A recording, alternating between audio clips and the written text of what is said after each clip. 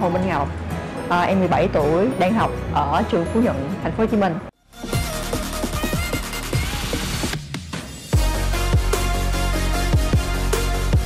Dạ, ba mẹ em cho em Ba mẹ em kêu em nên đi Mỹ. Dạ, tại chắc ba mẹ em nghĩ là qua bên Mỹ thì học tốt hơn ở bên Việt Nam Có tương lai sáng lạng hơn.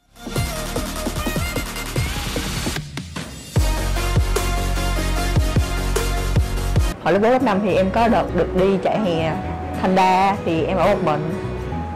Xung quanh em có mấy bạn em không có ba mẹ trong một tuần thì em tự dậy sớm và tự làm việc cá nhân của em thôi. Em nghĩ chắc em cũng thích nghi tốt ở bên đó. Kiểu như là được trải nghiệm môi trường mới mẻ. Đôi khi em cũng có rụt rè. Thì nếu mà để làm quen thì em cần thời gian dài để em mới làm quen được. Kiểu khó hòa nhập. Tức là thân thiện nhưng mà, kiểu, không có cởi mở nhiều, là em sẽ bắt đầu cuộc sống mới, em sống một mình. Em tự lập cho bản thân em em tự đến trường, em tự học hành, tự tìm hiểu, tự mày mò ở bên đó. Một mình, không có ai trợ giúp.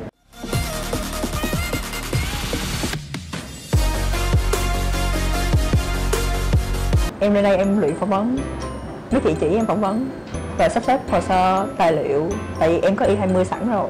Tại lúc đầu em cũng hơi, kiểu, bỡ ngỡ. Em không biết là có câu hỏi gì, xong em phải về em chuẩn bị. Rồi, khi nào em rảnh thì em lên đây, em luyện phỏng vấn với mấy chị, rồi phải trau chuốt tiếng anh của mình hơn.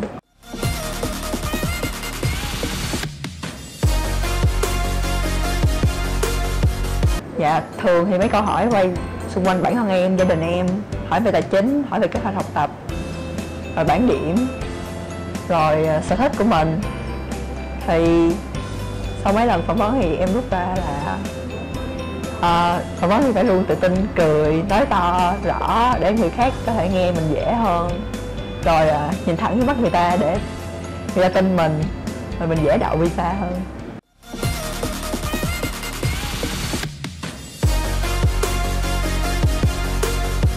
Thì lúc đầu em đứng xếp hàng ở trong đó sau bên vô người ta kiểm tra an ninh của em. Ờ giống như là quét giống như là đi vô trong phòng an ninh của sân bay vậy á. Xong rồi kiểm tra dấu vân tay dán dấu vân, vân tay rồi xếp hàng chờ mọi người. Lúc chờ thì lúc mà ngồi trên chỗ ờ, xếp hàng chuẩn bị phỏng vấn thì mình có thể quan sát được. À, mấy ô phỏng vấn khác mình nhìn người ta phỏng vấn sao? Rồi nhìn thấy được là mấy người phỏng vấn họ vui vẻ hay không gì đó. Rồi em nghĩ em cũng may mắn, em cho em gặp được cô ờ, người mỹ da trắng. Cô cũng thân thiện, cô cười, cô nói, cô chào hỏi em. Nói chung là cô không có áp lực gì nhiều hết, thoải mái. Như một cuộc nói chuyện bình thường, cô cũng hỏi là ba mẹ em làm gì, em học, tại sao em biết được trường này, em có người thân bên bển không? Thì em trả lời to rõ với thoải mái cười với cổ. Rồi cô bảo là làm cho cổ tin em, xong rồi cổ cho em đỡ visa.